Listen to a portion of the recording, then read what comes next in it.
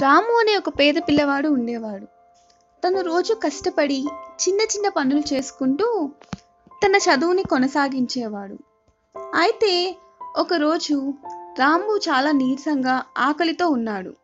తను స్కూల్కి వెళ్ళే దారిలో ఒక ఇంటి దగ్గర ఆగి తన దాహం తీర్చుకోవడానికి ఆ ఇంటి తలుపును కొట్టాడు.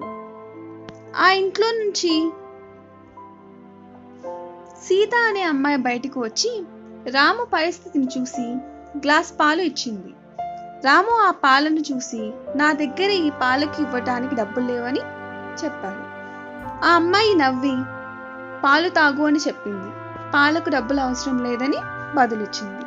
రాము సంతోషంగా ఆ పాలను తాగి అక్కడి నుంచి వెళ్ళిపోయాడు. కొన్ని సంవత్సరాల తర్వాత సీతకి ఆరోగ్యం బాగాలేదు. తన ఆరోగ్యాన్ని బాగు చేయడానికి చాలా ఆసుపత్రులు తీసుకొచ్చారు. చివరికి ఒక మంచి హాస్పిటల్లో చేర్చారు.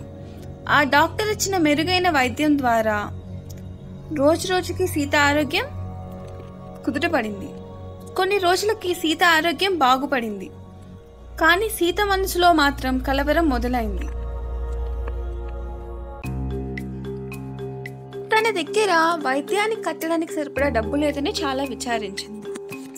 అంతలో ఆ డాక్టర్ ఇచ్చిన చీట్లు చూసి ఆశ్చర్యపోయింది. ఆ చీటిలో ఏముందంటే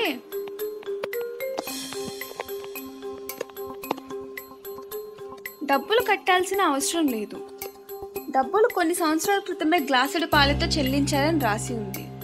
సీతకి కొన్ని సంవత్సరాల క్రితం జరిగిన విషయం గుర్తుకు వచ్చింది. తను చిన్న పిల్లగా ఉన్నప్పుడు కుర్రవాడు వాళ్ళ ఇంటికి వచ్చి గ్లాసుడు పాలు అడిగిన విషయం అప్పుడు తన గ్లాసు పాలు ఇచ్చిన విషయం తను గుర్తు చేసుకుంది. సో ఈ కథ వల్ల మనకు తెలిసిన నీతి మనం చేసిన సహాయం తిరిగి మనకు ఎప్పటికైనా ఉపయోగపడుతుంది.